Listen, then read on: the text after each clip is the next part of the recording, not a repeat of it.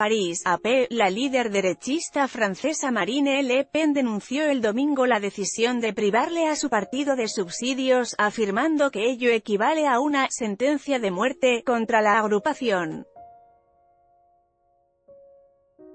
Le Pen se quejó de la decisión de dos jueces tomada el viernes de privarle a su partido de 2 millones de euros en subsidios, casi la mitad de los subsidios totales para todo el año de 4,5 millones de euros.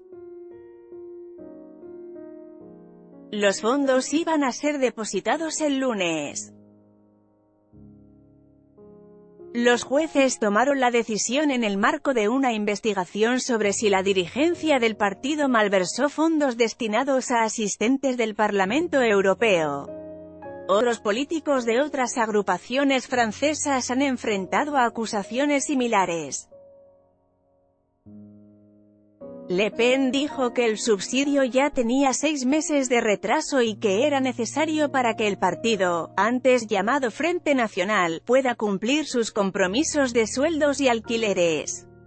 A confiscarnos nuestros subsidios en un juicio en torno a este pseudoasunto de los asistentes parlamentarios, los jueces investigadores están aplicando la pena de muerte como medida de precaución, escribió Le Pen en un tuit. Le Pen fue candidata a las elecciones francesas y llegó a la ronda final antes de perder frente a Emmanuel Macron. En esta nota, Francia-París Le Pen Europa.